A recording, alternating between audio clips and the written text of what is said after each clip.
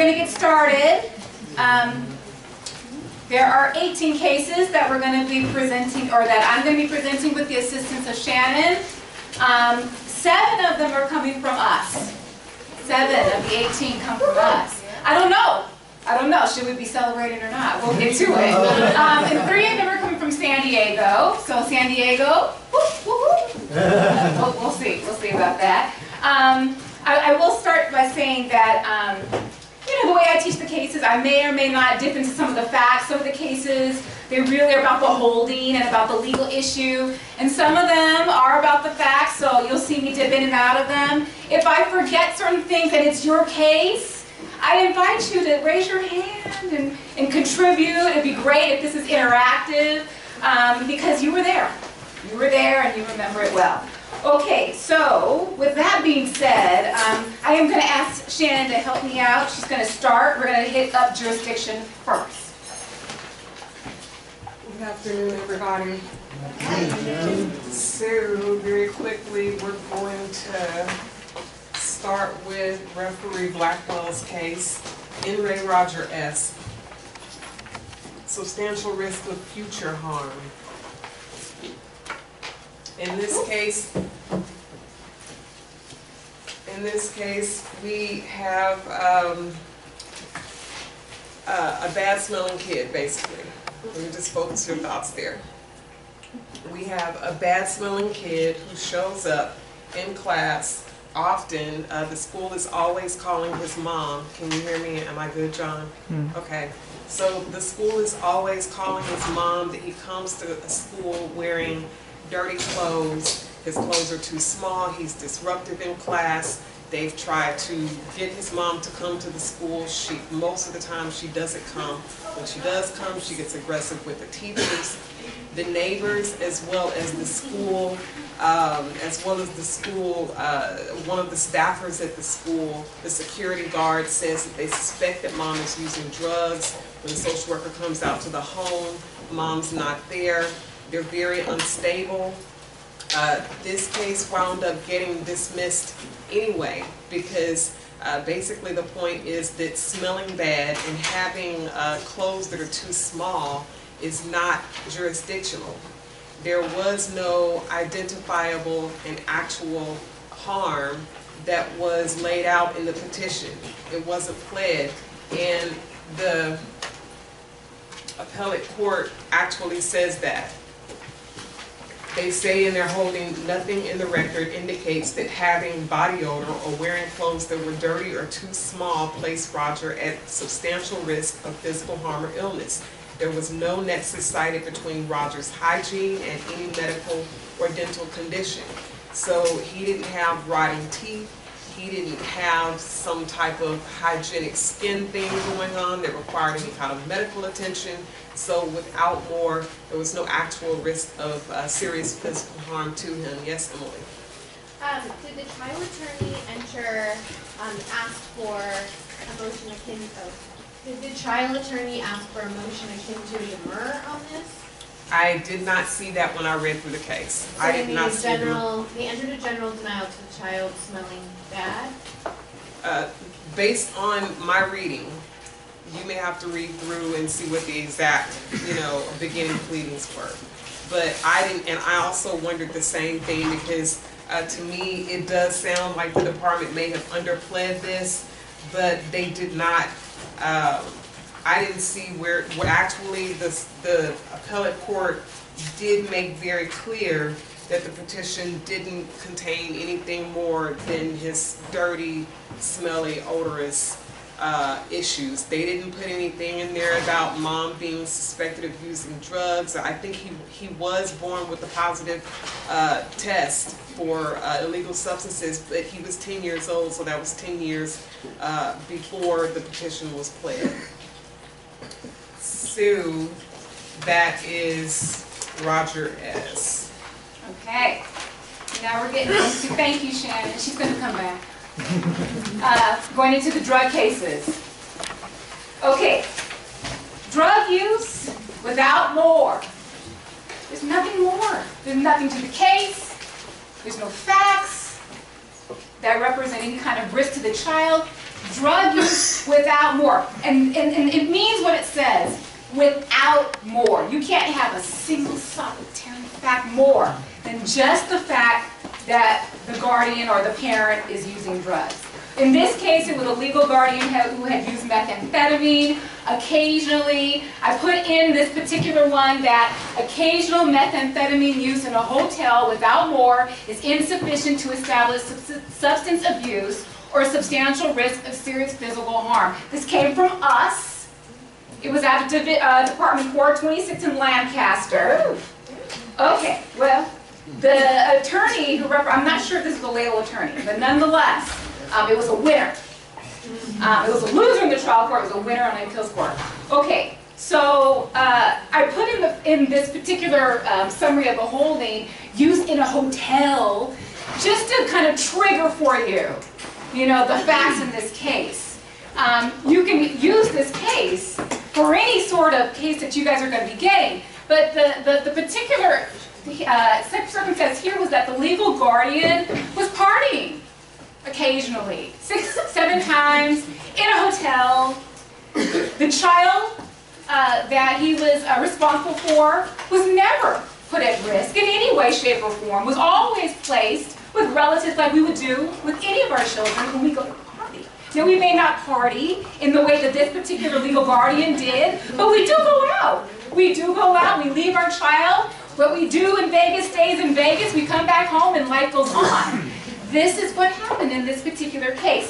The bench officer uh, focused in on the fact that the legal guardian lied a little bit about it. When he was confronted about his use, he said no. Eventually, he said yes. He also took remedial um, steps to make sure that nobody ever suspected that he was going to do this anymore and that uh, the child was never at risk and never will be at risk.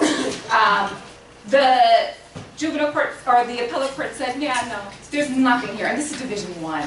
We like Division One sometimes. We usually get very, very liberal, um, very straightforward legal analysis from, from Division One. Uh, very simply put, occasional methamphetamine use is not substance abuse, right? Abuse is a defined term where it impacts your livelihood, it seeps into your professional life. There is a very specific definition that has been given through case law. Um, and what I believe Division One was doing was trying to push back against Alexander C. Does everybody remember what happened in Alexander C? Nobody remembers what happened when Alexander C came down. I was I was livid. Okay, the parents were users for a very very long time. The kids were perfect. The thing about what happened in Alexander C was that the parents were saying, well, we can't live without it. It helps us, it keeps us going. I need it every day. Without it, we could not do what we're doing well. And so the, the, the, the court of appeal was like, yeah, no, yeah, you guys, you guys are substance abusers, and eventually that's going to seep into what you guys are doing at home. And in fact, I remember the child in that case was, was they, they were presuming that the child was going to start learning that, yeah, you know, as long as you keep everything moving in the right direction, a little meth is okay, even for 30 years' time. Um, so that's what I think Division One was doing, pushing back against Alexander C. and then reviving Rebecca C the case that we like from Miss Berger. Um, so, uh, short and sweet, make sure there is truly nothing more before arguing for dismissal in a drug case. Um, the thing that Division One also likes to do, just going back, they always like to break out the analysis. Is this substance abuse? And they go through all the facts to see whether or not it amounts to substance abuse. Then they go to, well, whether, what about the risk of serious physical harm? They could find nothing. They tried a little bit about the fact that the legal guardian didn't know that the child had uh, developmental issues or, or educational issues. They're like, yeah, what's the nexus? And no nexus. So there was nothing more. So when you guys are arguing and you see the something more, be mindful of it that you may not be in LC or Rebecca C land. You may be in Alexander C. So just be mindful. Next case.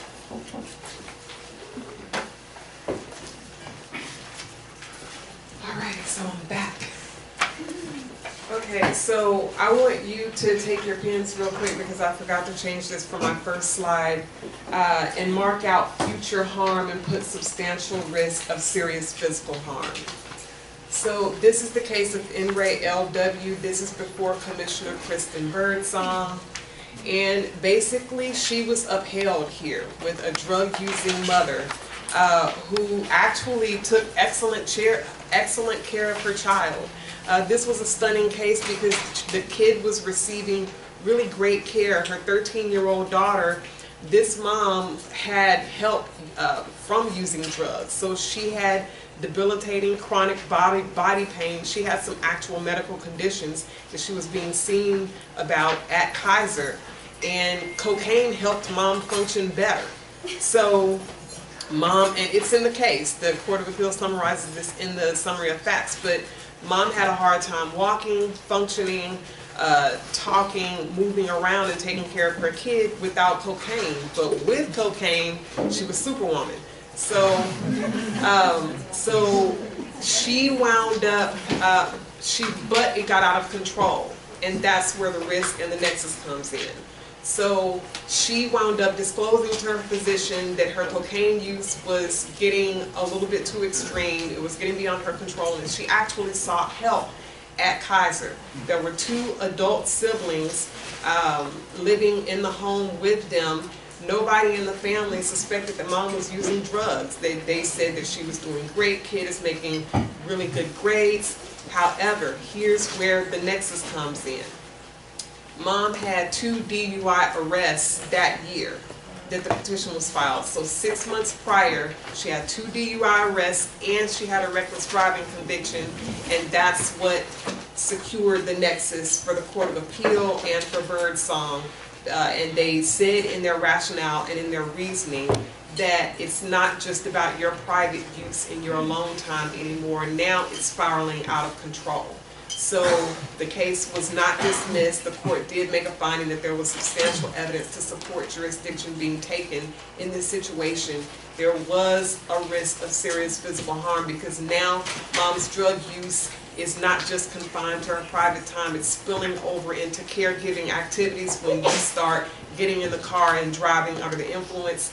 Now you've got a reckless driving, uh, a reckless driving conviction You've had two, uh, you've had two DUI arrests, so now you're putting your child at risk by engaging in activities that are harmful for the child, and you're taking your drug use into activities outside of the family home, and that's where the nexus to risk comes in. Uh, but uh, at DISPO, the child was declared, uh, it was a home of parent mother order, and mother also challenged that. Mother felt like she should have gotten a 360B dismissal, and she raised a challenge that uh, it was abuse of uh, Birdsong's discretion to not grant the 360B. Court of Appeal came back and said, ah, well, no, she didn't abuse her discretion because your drug use is spiraling out of control. You need to be watched. You need some more formal supervision than just a 360B. Uh, you started off with prescription drugs and then you wound up taking cocaine, washing it down with vodka and Norco, and now you're putting cocktails together and your stories aren't completely consistent about uh, you know, when when you started, when you didn't, and you successfully hid this from your family, so you need to be watched. So uh, the home parent order, uh, instead of a 360B, was upheld in Birdsong's court. Any questions? All right. Okay. All right, so, uh, second district again. So one, two, three, here we go. Division five. Um, so this was at, um, Department four twenty-four, Martha Matthews. Uh, it was a, our case. Um, uh, basically, in a nutshell, um, the juvenile court issued a custody order allowing the parents to share joint legal custody, physical custody to the father. It was the mother who um, had previously been the custodial parent. Um, she had two children. She she had a domestic violence relationship, right? There was domestic violence in the relationship, and at the end of all of this, she didn't reunify. The father got um, his child, and the, the juvenile court was saying, well, let's do um, a joint legal custody between the parents. The father said, no, no, we can't do joint legal custody. Why? Because there's a presumption against joint legal custody being, the, being in the best interest of the child when there's domestic violence. And what's my source? Family Code Section 3044. And then everybody's like, what? Okay. Now, I, I love an ambitious legal argument. Lord knows I do. Um, and here's the thing with this particular case. Juvenile dependency is a closed universe. You guys remember that phrase? Have you heard it before? Closed universe. Where have you heard it, it before? BarBri? BarBri? That's the first time I heard it. I heard it in BarBri. When I was trying to figure out how to pass the bar, and I got to the part for the performance test, and you're trying to write the answer, and you're drawing on all of your knowledge that you've learned in your three years of law school, and you're writing this beautiful answer, and then you hand it in, and it comes back, and you fail. Why? Because you didn't appreciate the fact that it's a closed universe. The only thing you need to use when you're doing a performance test is everything in the file. So here, in juvenile dependency, the only thing you need to use is the code. And which one? Welfare Institutions Code. Welfare Institutions Code. That's the only thing you go to. If in the Welfare Institutions Code, it directs you to go to the Family Code, then you go to the Family Code. If it directs you to go to the Civil Code, then you go to the Civil Code, and so on and so forth. But you don't go to the Family Code unless and until Welfare Institutions Codes tell you to do that. So, juvenile and family courts have separate statutory schemes and distinct purposes. The, oh, this is the part that I'm sure you know, I'm going to co-sign on this. The presumption of parental fitness that underlies custody law in the family court, it just does not apply to dependency cases. Our clients, as much as we love them, they are not fit. They are not fit legally. Legally. Certainly, we are doing everything that we possibly can to make sure that they get back with their children, but they don't have that presumption. So you can't just jump to the family code. That's where the fit parents go. The fit parents go to family court. They're, they just can't work it out. But they know how to parent. They just have a disagreement and they need a third party to step in.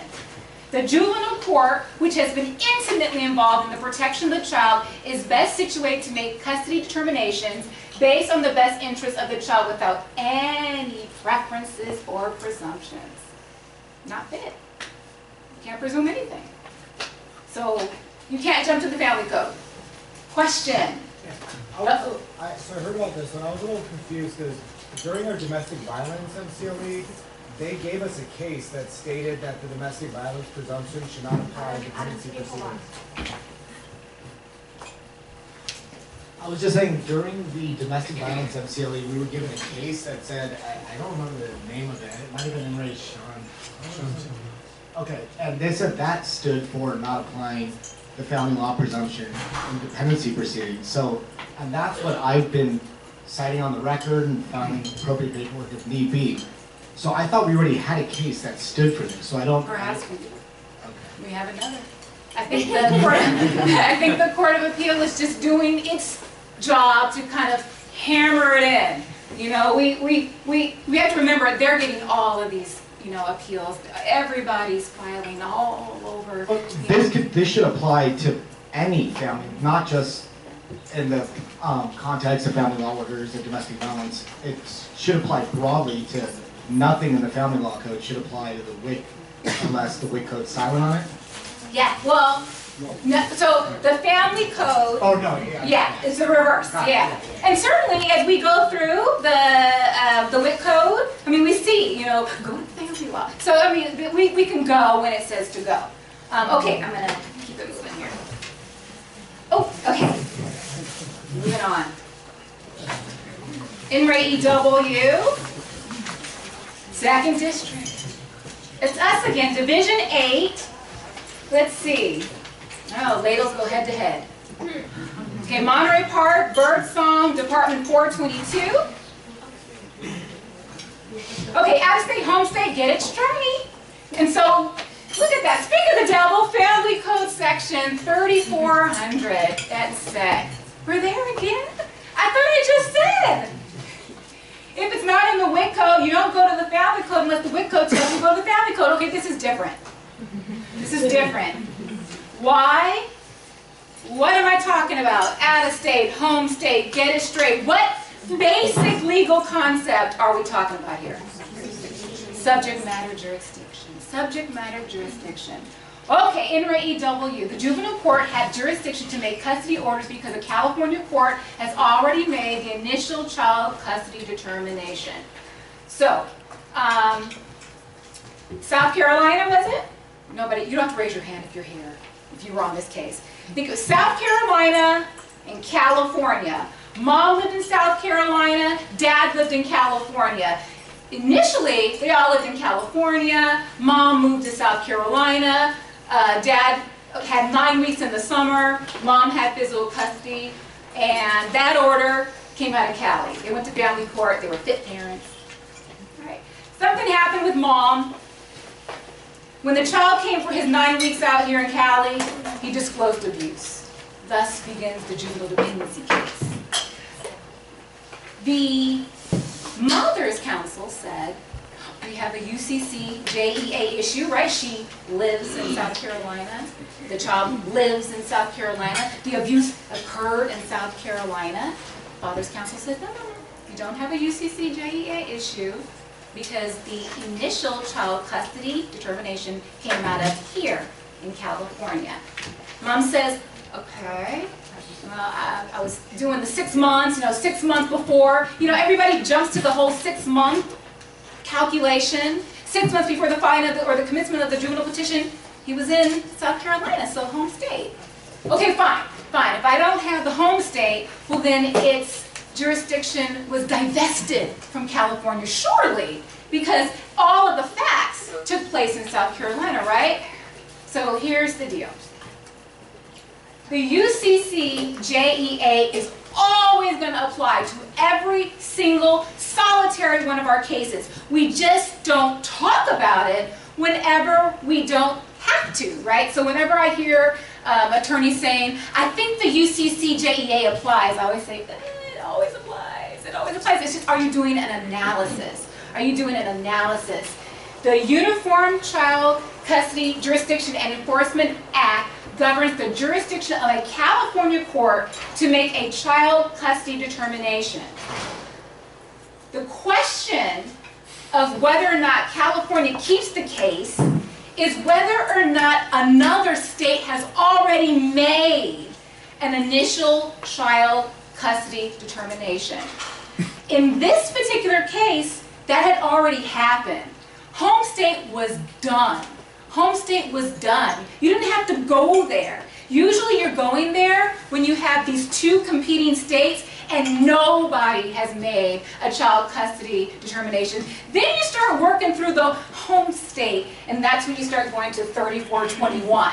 And let me just say, I'm not going to teach 3421, I'm not going to teach 3422. These statutes are incredibly dense. It is so much more than calculating the six months from the filing of, you cannot do that so easily and so simply. You have got to start from 3421A and wave your way all the way through all the different ways in which you're going to try to find home state. This case touched on it and then it just got out fast because they were saying, well, we don't even need, we don't even need to go to home state. Why? Because there's a child custody determination in California. It has continuing and exclusive jurisdiction and California was never divested from its jurisdiction. Why? Because in order to divest jurisdiction, you have to go through a, a completely different weaving around. It's very factual. And the mom was not able to show that, to demonstrate that. So this case just kind of focuses you on when you start going into UCC JEA. It's usually, there's nothing in the detention report that mentions a custody order. Then you start doing the calculations. But if you already see that they already have an order, you're, you're, you're good. If you want to start challenging the continuing California jurisdiction, then you want to start diving into 3422, and then of course you can start doing in, um, inconvenient forum. That's further along in 3400 et seq. Okay, it's extremely dense, very, very. lengthy. I have to break it down and circle. It's in the conjunctive, then it's in the disjunctive. It is a lot. It's a lot going on. A lot going on. Um, hopefully, there's no question. Next case. Third district, we're out of the second. Okay, this is Sacramento. Retroactive ICWA notice is not proper. The juvenile court's ICWA finding made at an unnoticed ICWA compliance hearing was reversible error. Okay, so this is what happened. I'm actually gonna pull the case so I can get it. Okay, the county sent notice. It was really good, it was complete. They sent it to the tribe. It didn't make it there though, didn't make it to the tribe. Um, they went ahead and held the dispo anyway. So they held the dispo, they sent the notices out, that was good. The tribe did not receive the notice. They held the hearing anyway. Thereafter, no notice of any subsequent hearing was ever sent. Then, the county resent the same notice. The same notice. We're talking about word for word, including the date of the hearing they already had. They just resent all of that. Um, providing the tribe with notice of a hearing that had already passed. The tribe did receive the notice on March 3rd. Then the court did something that I like, sort of. They had an ICWA compliance hearing to perfect notice. The tribe didn't know about that one either. Okay, so uh, the whole thing had to go, the whole thing was done. Had to go back, so it was remanded so that they can get the ICWA notices correct. Um, so first and foremost, um, I, I have to say this. Do not throw away your ICWA notices. I know they make your file fat. I know they make your file fat, and I know that um, they're very lengthy, especially if there's multiple kids. Um, and you, you find that part where you can just rip it, and it, you know there's one staple on the back and one staple on the front, and you find right. Okay. Don't throw away your notices. You got to track them. You, you, you really do need to track these notices. Um, this one got away from everybody. It got away from everybody. They tried to cure it, right? I like the ICWA compliance hearing. I like it a lot, and so does the Court of Appeal. They always, they have no problem with you going forward on DISPO without making the ICWA findings, as long as somewhere on the record you're saying, then we'll come back and we'll fix the ICWA. That's a great thing to do, especially if one person, one party is saying, slow it down, ICWA notice is not proper, and the other party is like, we can just do it and come back. So you can continue your hearing, you shouldn't. But you can continue your hearing as long as somewhere on the record you're going to go back to those ICWA notices. Why? Because it's a continuing duty. It's never ending. You will always be on, at the ready for ICWA notice. Okay? So don't throw away those notices. Notices shall include the information regarding the date, the time, the location, and notices shall be sent for every hearing that may culminate in an order for foster care placement, termination of parental rights, pre-adoptive placement, or adoptive placement. Um, so keep your notices maybe in an expanding file somewhere else. Maybe you want to do a separate sheet on the inside of your file where you're trying to keep track of the dates. But as much as you want to just don't don't do that because the case will go off the track if you go all the way through and then someone files their appeal and then ICWA notice comes up. It's gonna go gonna go back.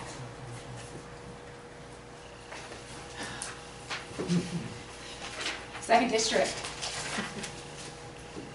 Lancaster, Department 428. In our court, this is how we do it. Harley C. The juvenile court committed prejudicial error when it impaired mother's opportunity to present her case as a sanction for violating an invalid local rule. So this is a really dense opinion. Um, it was, it was, it's one of the thick ones. There are more cases to come that are even thicker. Um, I'm going to shortcut um, to, to what I think you guys will, will need to, to know and to how to use this case. Um, I titled it, "In our court, this is how we do it." How many times have you said that? Well, in our courtroom, this is how we do it. Hmm. Or you heard, oh, it's, it's gonna be papered over to, oh, that's not how they do things. Hmm. It- it- it- You just be mindful.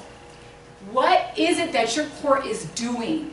Is it even legal? Is it valid? Hmm. It's okay for the juvenile court to establish local rules or procedures to govern the, the, the, the proceedings and to expedite, okay, the ability and the authority to control the proceedings.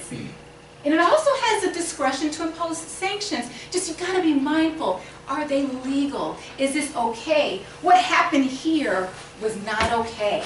So in Lancaster, there's these policies, one of which is you file a tr- joint trial statement. Forgive me for stumbling over that. I know nothing of any kind of joint trial statement. This is before or after my time. When I was in the courtroom, I filed nothing. I filed no joint trial statements.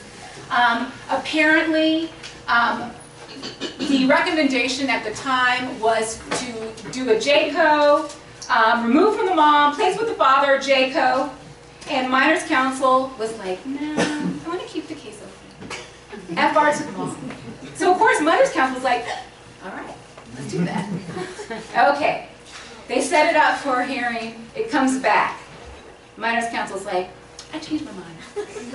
JCO, removed from the mother, placed with the father, mother unmonitored visits. There was like a last minute or something like that. So mother's counsel's like, wait, hold what? Okay, I, I want to put my client on the stand, I want to put the child on the stand. And the bench was like, well, counsel, did you file your joint trial statement? No, I, I just walked in the door. He actually says in the, in the opinion, I, I walked in the door and I heard minors counsel has changed her position. I now would like to put on a contest. She said, well, if you didn't trial, if you didn't file the joint trial statement, I, I'm sorry. I, I, I, I'm not going to allow your, your, your, your, your, your client to testify, nor anyone else. Now, mind you, the trial court also said, any witnesses? Any witnesses? Did anybody give any witnesses on? She's like, Your Honor, you just asked me. God bless LADL Wine's attorney. You just asked me if I, if any witnesses. I do, I want to put the mother on the stand. Well, no, trial, no, we have a policy, you didn't file it, she's out. All right, you can't do that.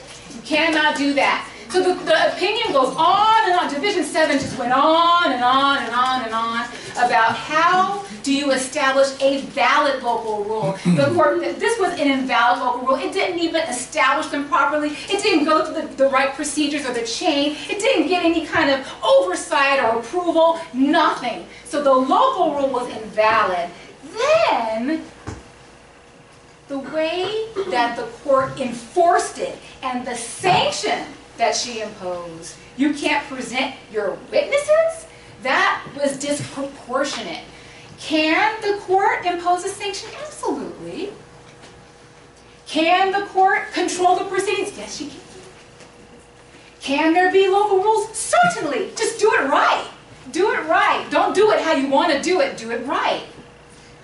What does this opinion not stand for? Don't use Harley C to, to say that this, there's a Sixth Amendment right to call witnesses and to a right to confrontation. Don't do that. That's not what this opinion says. Do not use this opinion to stand for the, your client's Fifth, Sixth, or Fourteenth Amendment right to testify. That is not what this opinion says. And if you read through it, they don't touch it. This is all about the local rule and about the authority that the court has to control the proceedings and the discretion to impose sanctions. It was done improperly. And that's what Harley C is all about.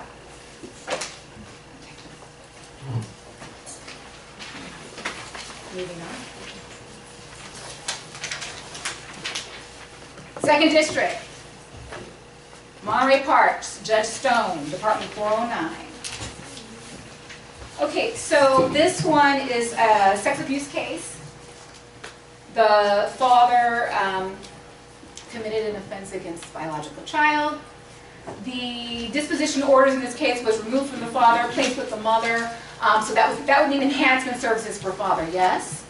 So the only issue really is here is visitation. There's two children involved.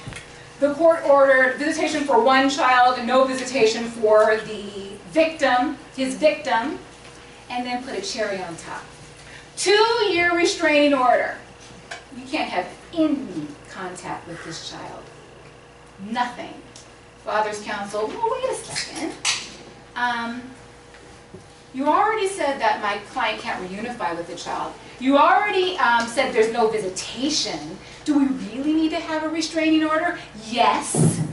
Yes, that was reasonable and within the court's discretion to do so. There was sufficient evidence that any contact between father and minor would jeopardize her emotional and psychological safety. So the juvenile court was looking at things other than her physical safety. Because, right, if he has no contact with her, no visitation, and he's been, or uh, she's been removed from his care, he's not going to be able to sexually abuse her again. But the court wanted to do more. You can't email her, you can't text message her, Facebook her, FaceTime her, nothing, nothing. The evidence suggests that father would try to manipulate her into seeing him. Thus, there is a sufficient basis to also conclude that her physical safety would be at risk. And then up with the physical safety, loved it. Couldn't help it. Okay, um, so no visitation, no phone calls, no emails, no text, no contact. It's good. It's a good order. Moving on. Due process, not perfect process. That's all our clients get. Due process, not perfect process. This is not our district, this is first district, this is a writ. This is a writ, right up my alley, right? Um, the juvenile court can remove a child from the parent's custody from one child's 388 petition requesting detention of the child and siblings. So get this. The children were home with a parent. Something happened. The minors counsel for one child, there's two children, each represented by different minors counsels. One child's minors counsel filed a 388, the the JV 180, asking for detention of not only her client, his or her client, but the siblings too. So parents are jumping up and down. No way. Of course, the court does it. Okay? The parents are jumping up and down. You can't do that! Hmm. First of all, it's a 388 from one child asking for detention. And court, you removed not only that child, but the other child. So they raised two issues. How can one child ask for anything concerning the other child? Standing. The second issue was you couldn't remove, at best, Your Honor, you could just detain, right? Because they asked for just detention. These are legal stand, legal definitions, right? You guys, detention, removal. Get this. They didn't ask anything about this whole 387, right? We would expect a 387. They didn't ask that. It's gone, it's erased. Can't even bring it up. So here it is. It is within the juvenile court's inherent and statutory authority to modify or set aside its orders sua sponte as circumstances warrant so long as it has provided the parties with notice and an opportunity to be heard, which they did. They were on notice, they had a hearing, due process. It's not perfect, but they had their day in court. And again, be careful what you wish for, not only at the trial court level, but at the appellate level. They didn't claim anything about the request to remove the minors could only have been initiated by the social worker via the filing of a supplemental petition in accordance with section 387. They didn't touch it. So what about the standing issue, you guys? Standing. The one minors counsel asking for the child and the child's siblings. This is how they dealt with it. This is how the Court of Appeal dealt with it. And this is how you guys can kind of see it happening. You guys know on the, um, the JV 180, you know that, the, I think it's the, the, the last page, the signature page. Does anybody object? Who agrees? In all these boxes? Okay, so I'm sure it was like the, the box for the other minor or the other child, I'm sure it was checked. I'm I'm just presuming, I'm assuming that. But then the juvenile, the Court of Appeal, they get this record, they read everything, they read all the transcripts, they look at every single thing, and so they say, oh, we, we, we're mindful of, uh, that the minor's attorney for the other child, where is it here? Uh, her attorney agreed with the request, that's the boxes, right? Okay, um, and then at the conclusion of the hearing, aligned herself, you know, we joined, and they aligned, okay? Then it says, um, then she verbally joined in the 388 motion at a previous hearing, not even the one where the 388 was heard and ordered and and, and granted. Um, so the the appellate court, when they review the record, they review the record. They're looking at it from the detention, the detention report, the petition, and they're going all the way through. The transfers from the very beginning and all the way through. As long as you know appellate counsel is asking for it, they're going to read it, and they're going to pull as many different things as they possibly can to tie up and support what the juvenile court did. Um, so that's that's something to look out for. 388s filed by your minors attorneys. Ooh. Okay. On notice. Okay, I see it's 12:56. I'm gonna start. The hot chili peppers and soap challenge. okay, so um, mothers, children were removed for um, inappropriate physical discipline and physical abuse. She did reunification services, she got them back. She kept doing it. She kept being inappropriate. 387, pulled the kids. Uh, she says, well, wait a second. I'm just punishing my kids. I- I'm just disciplining my kids. And if I understand correctly, a parent can, you know, discipline their kids physically, appropriate, age appropriate. The court's like, that's not, that's not appropriate in any way. Um, inappropriate physical disciplinary measures, I'll, I'll tie this all up. Violation of court orders and being extremely difficult to work with the service providers is sufficient evidence to support a finding that the previous disposition order has not been effective in the rehabilitation or protection of the child. This is third district, Sacramento. Um, the parents may use age-appropriate corporal punishment to discipline their children. In this case, the court could reasonably infer that mother intended to cruelly inflict inappropriate physical pain. The court properly considered the totality of the circumstances rather than viewing each separate incident in a vacuum devoid of any context, that's what the mother was trying to do. She's like, well, I just put chili peppers. I mean, that's not, I mean, that, that's not a risk to my child. It's uncomfortable. I just put soap. You know, it tastes nasty. Uh, but that doesn't put my child at, at, at risk. And, and, and yeah, I, I reached in her, her shirt, I pulled out a phone. Okay? But that's how she always has been. And it had never, ever worked out for her. So she continues to do this behavior. And so the court just tied it all up. All of this behavior. And then on top of that, you're refusing services. You're not allowing the social workers to come in. You're violating my court orders. Yes, but Your Honor, just violation of the court order alone does not put my kids at risk.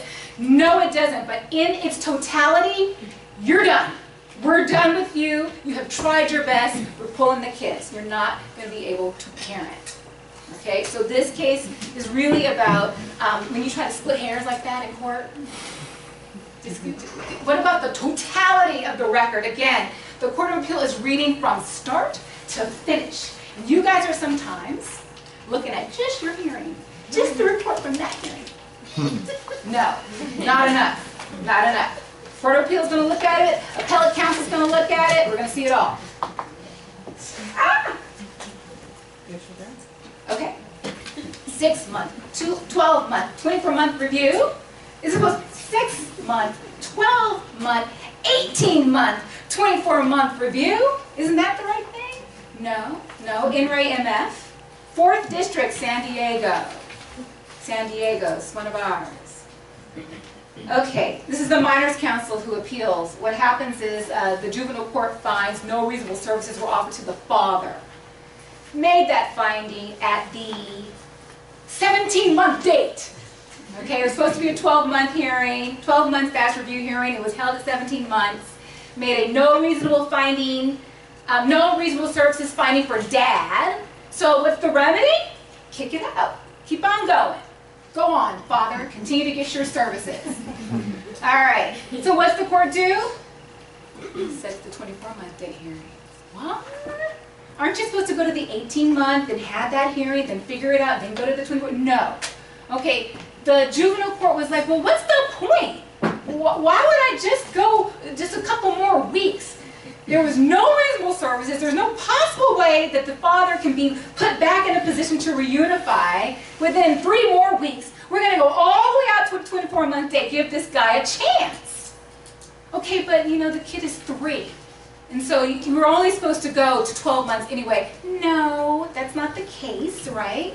You can go out to 18 months and you can also go out to 24 months, assuming that there's a substantial probability that the child's going to be returned. You can keep going, even though the child's under the age of three at the time of detention and removal. Okay, so at the 12-month status review hearing, the juvenile court is permitted to extend reunification services to a 24-month date for a child under the age of three without finding good cause to continue the hearing where no reasonable services were provided to the parents. So what happens if the review hearings aren't held on time? Well, it's just the legislature that assumes everything is happening on time. We know they're not happening on time.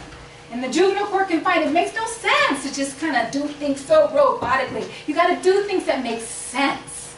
The decision when to schedule the next review hearing is committed to the sound discretion of the juvenile court. Moving on, it's 101. Oh, okay, so this one says, the never-ending story ends when minors counsel attempts to continue the case in perpetuity. Okay. I'm gonna cut a little bit. This minors counsel could not find her client. I can't find my client, I've never met my client, I don't know what my client is doing, continue the case. Okay.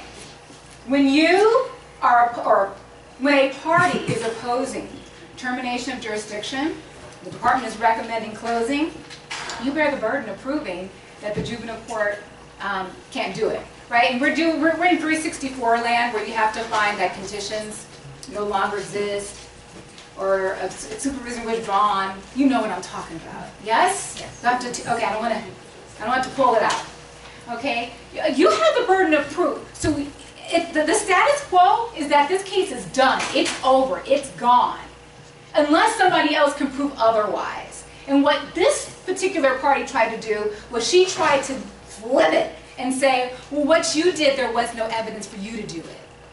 So that's not how it works. And this is really a case that's probably for the appellate level um, and how you're looking at the burden of proof and who carries the burden. Um, but in any event, when you're in the situation, the rec is to close, minors counsel wants to stay open, you turn to minors counsel and say, prove it. Prove it. The floor is yours. Let's hear it. Minors counsel can't do it, it's closed. Closed, it's out. There was a lot of facts in this case. Uh, If you guys want to talk about it with me, I wanted to talk about it, but I'm running out of time.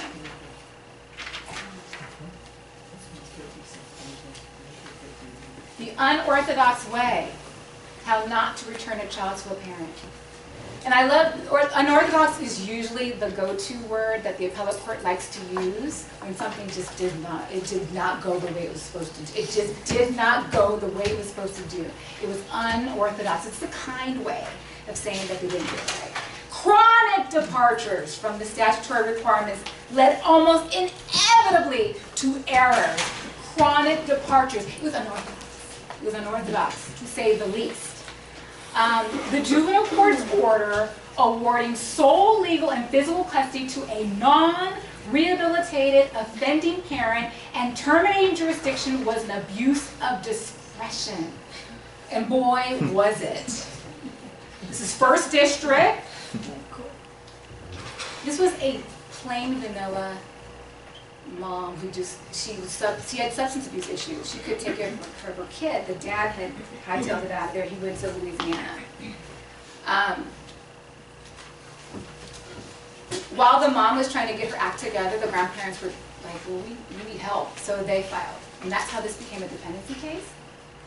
Um, the father, he kind of stumbled back into the picture um, after a long period of time of the child having been removed and placed in foster care placement after foster care placement after foster care placement. Somehow the dad wove his way back in. I think I'm at my 30 mark, 30 minutes. No? Ten more minutes. Okay. so- Um,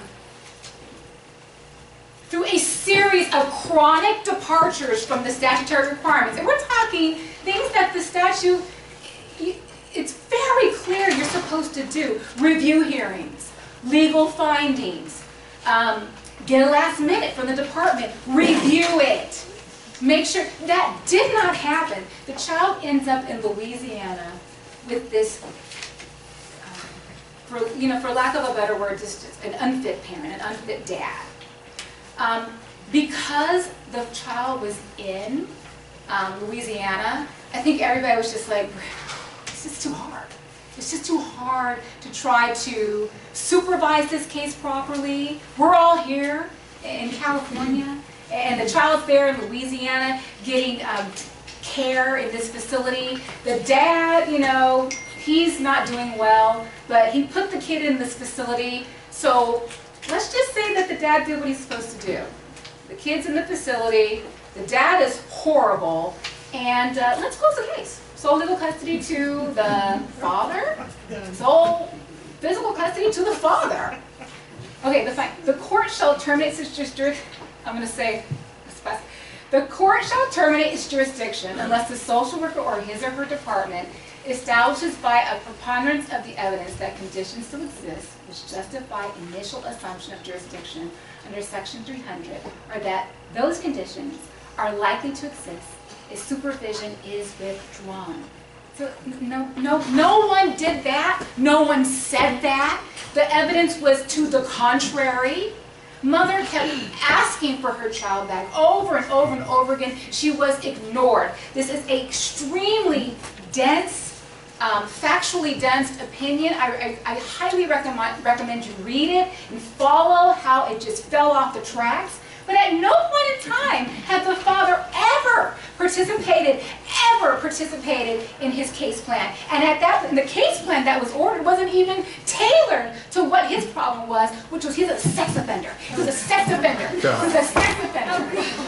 All right, so he never, ever rehabilitated, but because the child was in a facility in Louisiana and was getting the care that he needed, and it seemed like that that was a good way to keep the child protected from the father, they just closed out the case. That was not how it was supposed to be done.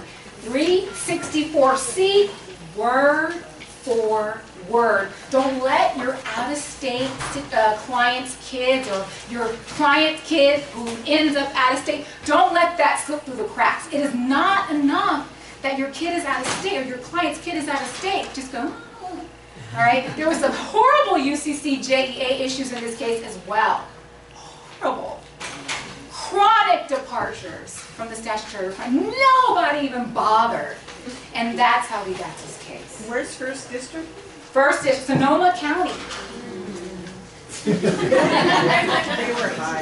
And don't forget, also, don't forget, failure of the parent or guardian to participate regularly in any court-ordered treatment program, that's prima facie evidence. You cannot close this case. You cannot close this case. I know, we sometimes try, right? What if there's no evidence of the child's at risk? You can't close the case. You Can't close the case. Okay, can the court make that order?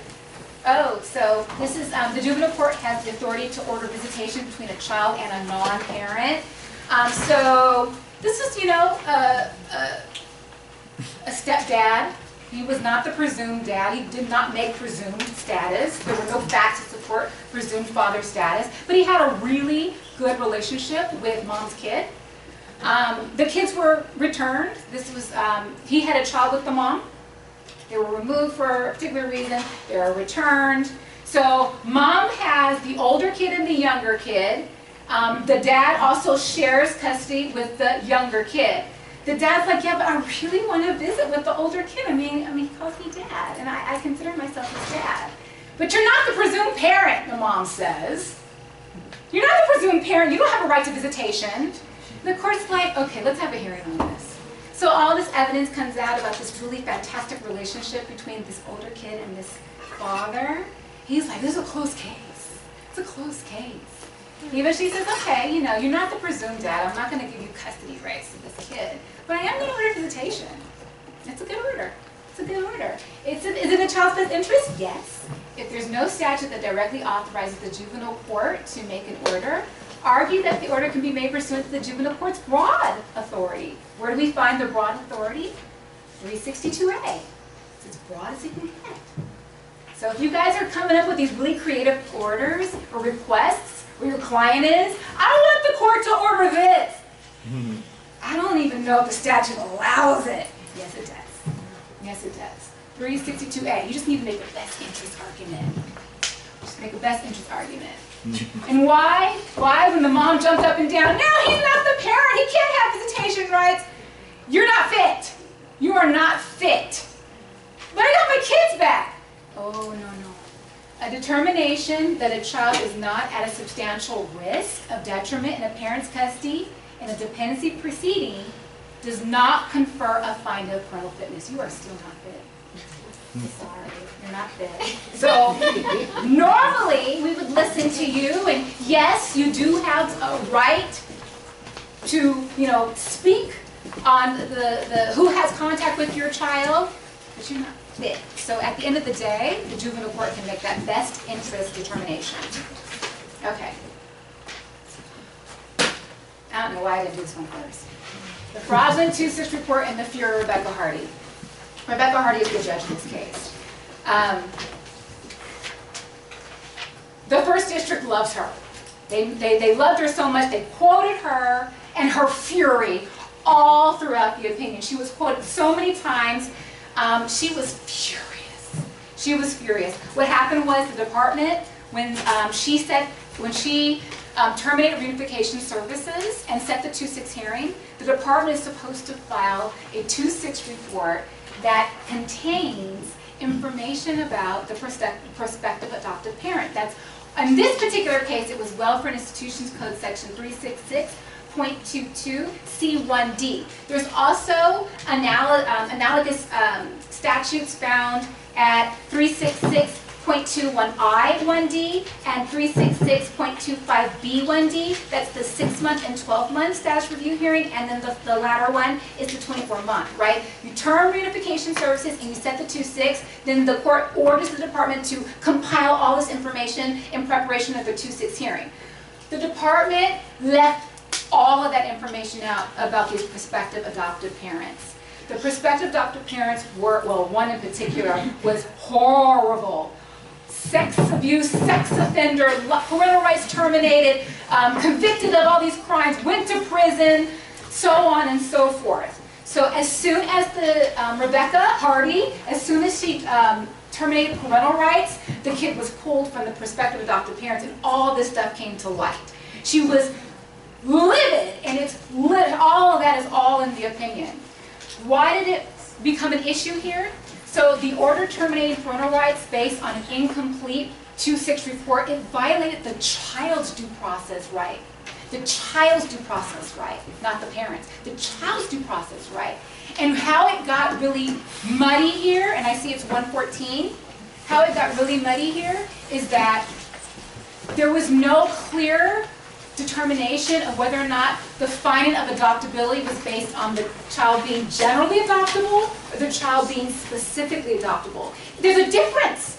There's a difference. And when the child is, a, when it's a specific um, adoptable child, the court must determine whether there are any legal impediments to adoption and whether there's a prospective adoptive parent who's able to meet the child's needs. So if the prospective adoptive parent has problems and you don't know it, and it's a specific adoptability finding, that's going to screw the whole thing up. Why Judge Hardy, after she unleashed all her fury, didn't just simply vacate her findings? I don't know. I don't know. But that's exactly what is going to happen and has been ordered by the Court of Appeal. Got to go back, do the hearing all over again. We need a complete 2-6 report. So all of us, Parents Counsel, when we get that 2-6 report, we're looking for that, particularly if it's a hard-to-place child. It's a hard-to-place child. Because without this, first of all, that portion should be in there. But if it's not in there and it's a, it's a, it's a hard-to-place child, then we're gonna have some huge problems. Huge problems. Anybody else have to leave? It's one fifteen. Okay. Um, you guys, there are two more, there's three more cases. Um, if you can't get the gist from reading the handout, email me, come see me, call me, I'm right here. Thank you. Thank you.